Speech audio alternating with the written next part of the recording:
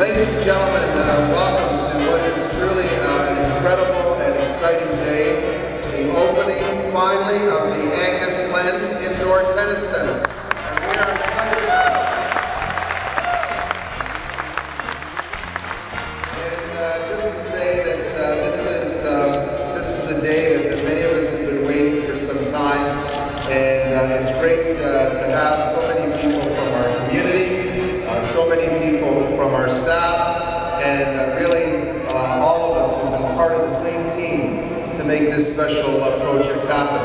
Now, I know you're here to take part for the uh, opening ceremonies, but you have an important job to do. If these people's heads start going like this, please let me know, okay? I just want You've been to a tennis game before.